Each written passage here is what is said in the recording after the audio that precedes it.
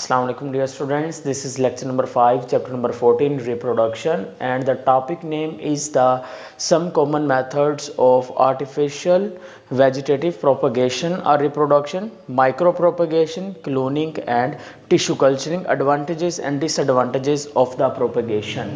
So first one is that common method of the artificial vegetative propagation. Focus on the title. There are two words. First one is artificial and second one is the vegetative propagation. Vegetative propagation क्या है कि vegetative propagation हम कहते हैं कि propagation means reproduction जब reproduction होगी, किसके ज़रिए से? वेजिटेटिव पार्ट्स ऑफ़ प्लांट उसको हम कहेंगे वेजिटेटिव प्रोपोगेशन और वेजिटेटिव पार्ट्स ऑफ़ प्लांट ऐसे प्लांट्स जो सेक्सुअल रिप्रोडक्शन में पार्ट में लेंगे, उसे कहेंगे vegetative part of plants for example for example stem आ जाता है इसके अंदर. रूट्स आ जाएँगी और इसके अंदर क्या आ जाएँगे?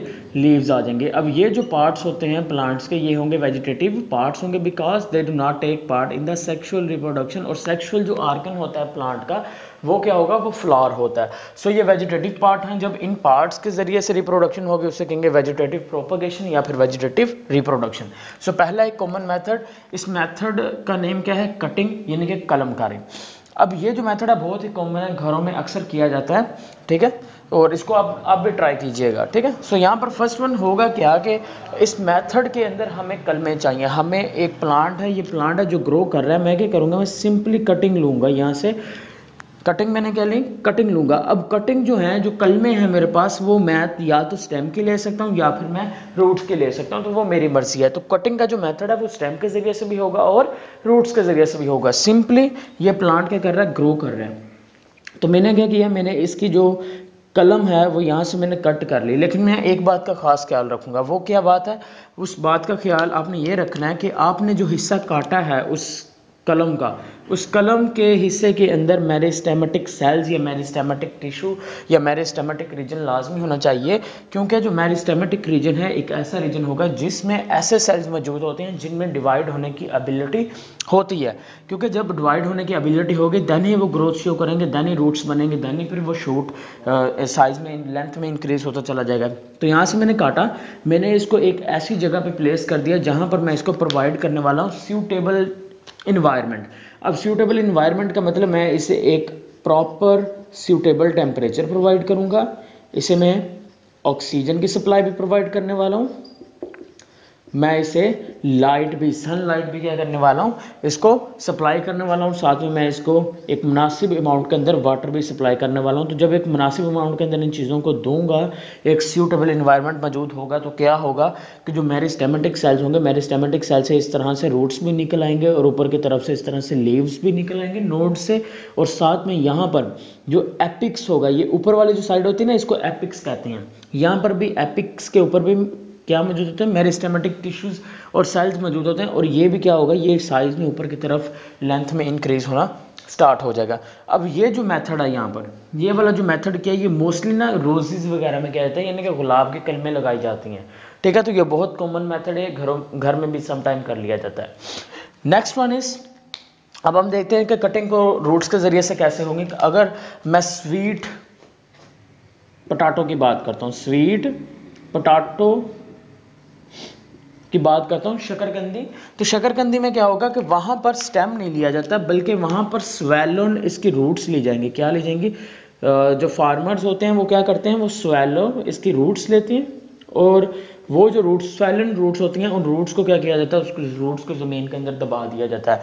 फिर उनको सूटेबल टेम्परेचर ये सब कुछ प्रोवाइड किया जाता है। देन वो जो रूट्स होंगे रूट से क्या बन जाएगा? एक नया प्लांट बन जाता है और इस तरह का जो मेथड होगा, उसे भी हम किसमें इंक्लूड करेंगे? हम कटिंग के अंदर इंक्लूड करेंगे। तो स्वीट पोटाटो में मैंने बताया और इसके अलावा मैंने किया कहा कि ये जो मेथड है, ये हम रोजेज़ वगैरह की कलमे वगैरह के ज़रिए से हम रोजेज़ काफ़ी सारे इंक्रीज कर सकते हैं गमलों के अंदर भी। Next one is a grafting grafting के अंदर क्या होगा कि एक सिंपल हम पीस लेंगे स्टेम का। तो this one is a stem ये एक स्टेम है, एक प्लांट का। अब मैंने क्या किया, मैंने सिंपली इस जो पी स्टेम है ना, इस स्टेम का मैंने एक पीस काट लिया। यहाँ से देखिए, मैंने क्या किया, मैंने इसका पीस काट लिया। मैंने स्टेम का पीस क्यों काटा?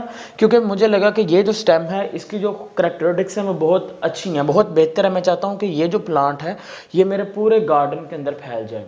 ठीक है, मेरे पूरे बाग के अंदर सिर्फ़ यही प्लांट होना चाहिए। क्योंकि इसकी खसूसियात बहुत अच्छी हैं। डैट्स वाई मैंने क्या किया, मैंने इसके स्टेम का पीस काटा। काटने के बाद जो बाकी, अब दूसरा प्लांट होस्ट प्लांट का मैंने क्या किया, उस होस्ट प्लांट को भी काटा, उसके वेस्कुलर टिश्यूज़ को एक्सपोज किया देन इसके वेस्कुलर टिश्यूज़ और इनके वेस्कुलर टिश्यूज़ को आपस में यहाँ पर मैंने लगा दिया। सेम इस तरह से क्या किया मैंने इसको इस तरह से लगा दिया और जब इसको मैंने इंजर्ट करवा दिया उसके बाद मैंने क्या किया? मैंने इसको स्ट्रिप की मदद से ऊपर से बाँध दिया। With the passage of time वक्त गुजरने के साथ साथ क्या होगा? कि जो होस्ट प्लांट और वो प्लांट जहाँ से मैंने क्या लिया था पीस लिया था स्टेम का उनके जो वेस्कुलर टिश्यूज़ हैं वेस्कुलर बंडल्स हैं वो क्या एक साथ ग्रो करना स्टार्ट कर देंगे? और जब एक साथ ग्रो करना स्टार्ट हो जाएँगे तो वो जो नया स्टेम का पीस लिया था वो अब इसी प्लांट के स्टेम का क्या बन चुका है? पार्ट बन चुका है। अब इस तरह का जो मेथड होता है इस तरह का जो प्रोसीजर होगा ग्राफ्टिंग वाला ये भी हम इस्तेमाल करते हैं उनके लिए आ, ऐसे प्लांट्स को ग्रो करवाने के लिए जिनमें सीडलेस होते हैं। जो क्या होते हैं? सीडलेस प्लांट्स को फॉर एग्जांपल अंगूर वगैरह को ग्रो करवाने के लिए या रोजेस के लिए भी हम इस्तेमाल करते हैं ये वाला मेथड ग्राफ्टिंग का। नेक्स्ट वन इज़ इसका एडवांटेज क्या होता है? इसका एडवांटेज क्या है? इसका एडवांटेज ये है कि देखिए ज़रा, अब ये जो प्लांट है, ये जो है पौधा मेरे पास एक गमले के अंदर था पहले। अब मेरे पास 10 से 12 गमले मैं चाहता हूँ मेरे पास हर गमले के अंदर यही प्लांट हो, क्योंकि इसके जो फ्लावर हैं वो बहुत ही खूबसूरत हैं।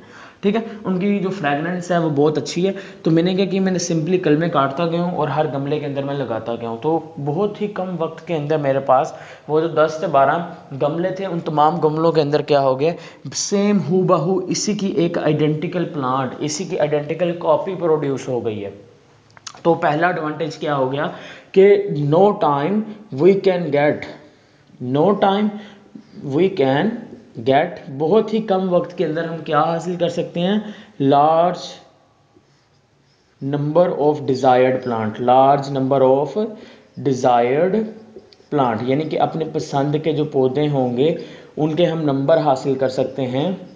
काफ़ी ज़्यादा उनको उनकी जो प्रोडक्शन है, उनके नंबर्स को क्या कर सकते हैं इंक्रीज़ कर सकते हैं अपने पसंद के लिहाज से। यानी कि जो हमें पसंद है, हमने उसको ग्रो करवा लिया। नेक्स्ट वन इसका डिसएडवांटेज क्या होता है? अब इसका डिसएडवांटेज क्या है? देखें डिसएडवांटेज इसका ये है कि अगर मैं वेजिटेटिव प्रोपोगेशन की बात करता हूँ ना, यहाँ पर जो सेल डिवीज़न हो रही है बच्चे, वो माइटोसिस के ज़रिए से होती है। अब माइटोसिस का प्रॉब्लम ये है कि माइटोसिस के अंदर माइटोसिस के अंदर जो माइटोसिस के अंदर कभी भी रिशफलिंग ऑफ़ जीन्स नहीं हो गई जब रिशफलिंग ऑफ़ जीन्स नहीं होगी, यानी कि माइटोसिस के अंदर कभी भी क्रॉसिंग ओवर नहीं होती। अब क्रॉसिंग ओवर नहीं होती तो क्रॉसिंग ओवर के नतीजे में रिशफलिंग ऑफ़ जीन्स भी नहीं होती। जब रिशफलिंग ऑफ़ जीन्स नहीं होती तो वेरिएशंस नहीं आती। जब वेरिएशंस नहीं आती तो इससे बहुत प्रॉब्लम होता है। अब वेरिएशंस नहीं आएँगी चेंजेस नहीं आएँगी तो जितने भी प्लांट्स हैं मेरे पास, वो गमलों के अंदर जितने भी मैंने 10 से 12 गमलों के अंदर एक ही तरह का मैंने प्लांट ग्रो करवा लिया था। तो उन तमाम की खसूसियात क्या हैं? एक जैसी हैं। अगर फॉर एग्जांपल किसी इंसेक्ट ने या किसी डिज़ीज़ ने एक प्लांट के ऊपर हमला किया है तो उसका रिज़ल्ट क्या होने वाला है? कि उसी के तरह के जो 10 से 12 प्लांट हैं, वो सारे के सारे उस डिज़ीज़ से अफेक्टेड हो जाएँगे। क्योंकि सबकी खसूसियात क्या थी एक जैसी थी। अगर किसी की खसूसियात डिफरेंट होती दैन वो हो सकता था कि वो सेफ़ हो जाता। लेकिन चूँकि अब सब प्लांट्स के करेक्टरिस्टिक्स क्या थी? सेम थी तो इसी की वजह से क्या होगा, वो जो, अब मेरे पास पूरे के पूरे जो फील्ड्स होंगे या फिर पूरे के पूरे मेरे पास जो गमले थे, काफ़ी सारे प्लांट्स थे, एक ही एक ही प्लांट्स जो मैंने बनाए थे, वो सारे के सारे क्या हो जाएँगे? डिस्ट्रॉय हो जाएँगे, तबाह हो जाएँगे। तो ये बहुत बड़ा नुकसान हो जाएगा मेरे लिए, ठीक है? This is the one biggest disadvantage अब इसका एडवांटेज क्या होता है?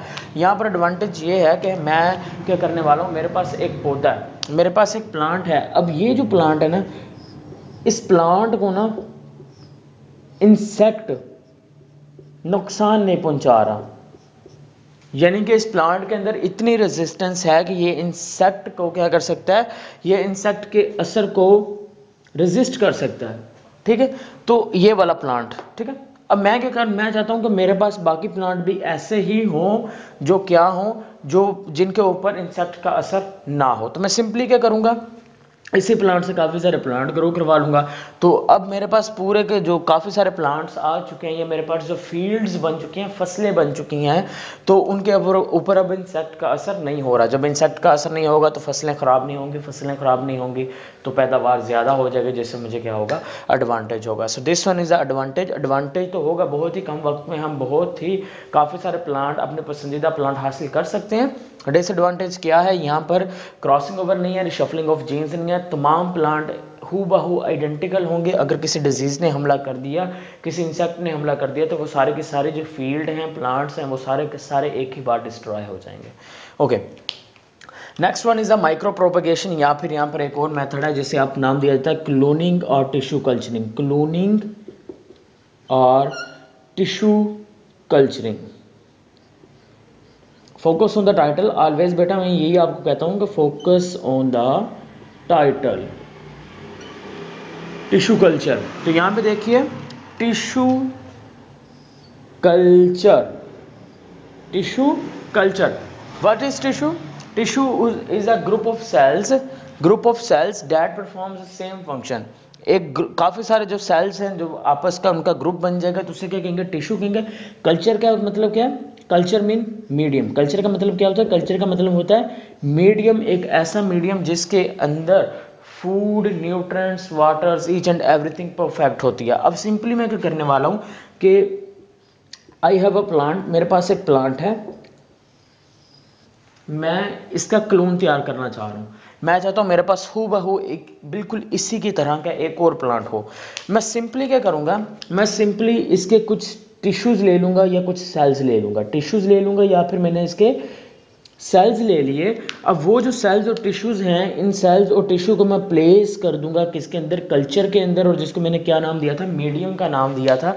और मीडियम मैंने कहा कैसे होगा? मीडियम के अंदर ईच एंड एवरीथिंग क्या होगी? परफेक्ट होगी। आफ्टर डैट ये जो टिश्यूज और सेल्स होंगे, बेटा, इसके अंदर माइटोसिस होना स्टार्ट हो जाएगी। क्या होगी? माइटोसिस होना स्टार्ट हो जाएगी एक से दो सेल दो से चार चार से आठ आठ से सोलह, बत्तीस, चौंसठ, एक सौ अट्ठाईस, इस तरह से डिवाइड होना स्टार्ट हो जाएँगे, जिसके नतीजे में काफ़ी सारे सेल्स मेरे पास बन जाएँगे। जब काफ़ी सारे सेल्स बन जाएँगे तो हम उसको नाम देते हैं क्लासेस का। क्या बन जाएँगे? क्लासेस बन जाएँगी।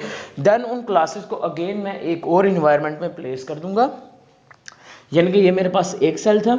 एक सेल फिर क्या हुआ उसमें माइटोसिस हुई माइटोसिस के नतीजे में इस तरह से मेरे पास क्या बन गई काफ़ी सारे सेल्स बन गई या फिर क्लासेस बन चुकी हैं, इसको क्लासेस कहेंगे। फिर ये जो काफ़ी सारे सेल्स हैं, ये क्लासेस बन चुकी हैं सेल्स की तो इसको मैं क्या करने वाला हूँ? इसको मैं प्लेस कर दूँगा एक और आर्टिफिशियल मीडियम के अंदर। यहाँ पर ये देखिए आर्टिफिशियल मीडियम के अंदर मैंने इसको बच्चे प्लेस कर दिया। आफ्टर डैट क्या होने वाला है? ये जो चीज़ है, ये क्लासेस हैं इनसे क्या बन जाएगी? नीचे रूट्स भी बन जाएँगे थोड़ी थोड़ी और ऊपर की तरफ़। यहाँ पर शूट भी निकलना स्टार्ट हो जाएँगी। तो इस तरह से, इस तरह से मुझे एक पौधा मिल जाएगा। अब ये जो प्लांट ग्रो करेगा, इसको बाद में मैं सॉइल में इंसर्ट लगा दूँगा, फिर वो वहाँ पर ग्रोथ करना स्टार्ट कर देगा।